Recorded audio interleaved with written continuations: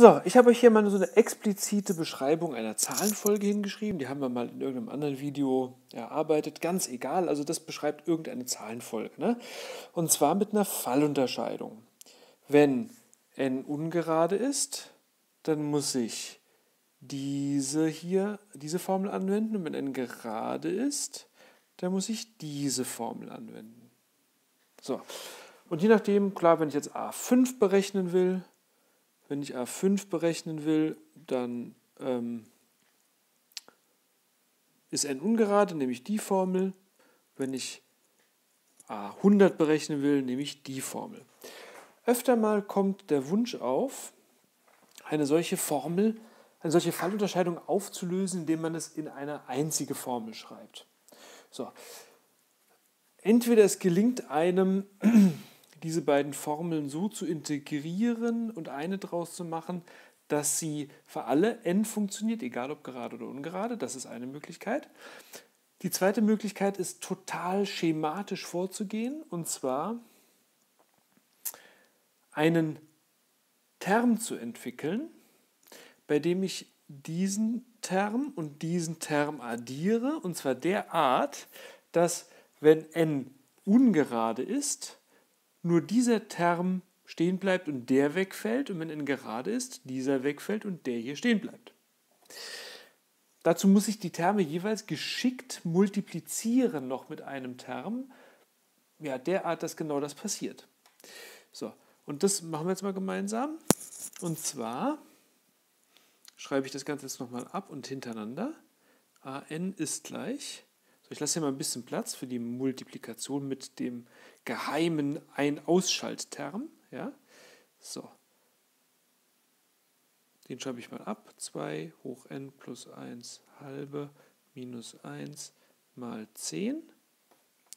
Und hier hinten steht 2 hoch n halbe mal 10 minus 5. So. Ich habe diese beiden Terme klammer ich mal ein. So. Und die möchte ich jetzt mit einem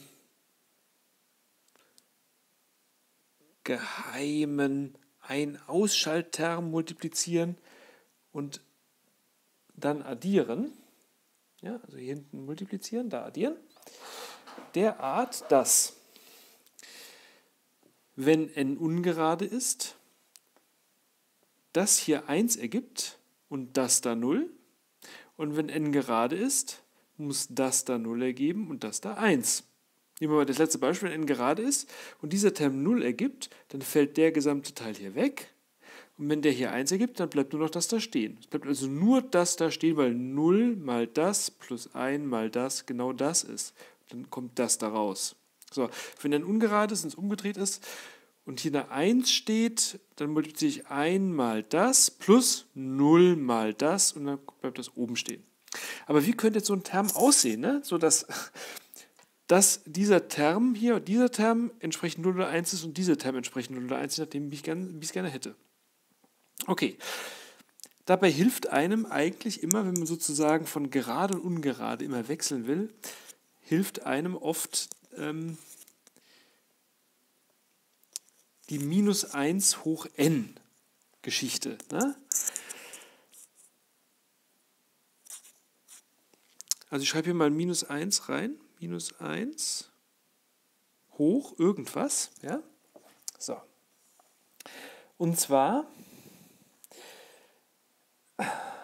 wenn n gerade ist, wenn ich jetzt minus 1 hoch n, ich schreibe mir einfach mal minus 1 hoch n rein. Ne?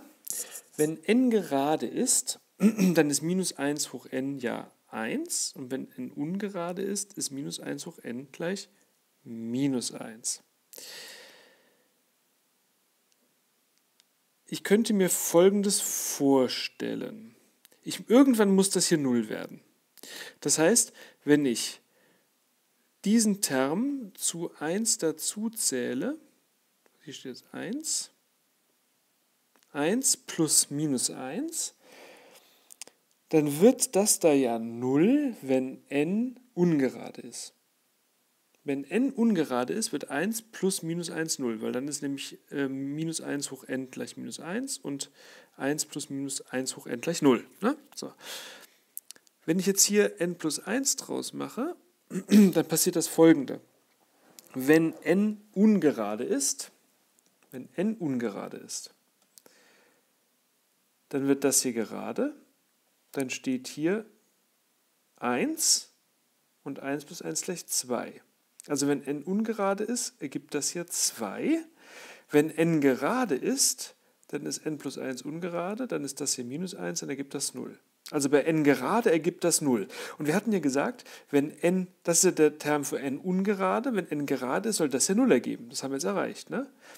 Das ergibt 0, wenn n gerade ist, und damit fällt das Ganze hier weg. Dumm ist jetzt noch, es ergibt nämlich 2, wenn n ungerade ist. Wenn n ungerade ist, dann ist ja das hier 1 und das oben hier 2. Deswegen habe ich das gleich so geschickt hingeschrieben. Gell? Teilen wir das noch durch 2, das ganze Ding. Dann passiert nämlich das folgende. Wenn n ungerade ist, nochmal, wenn n ungerade ist, dann ist n plus 1 gerade. Dann ist minus 1 hoch n plus 1 1. 1 plus 1 gleich 2 durch 2 gleich 1. Dann gibt das Ding hier 1. Wenn n gerade ist, dann steht hier 1 plus minus 1 hoch.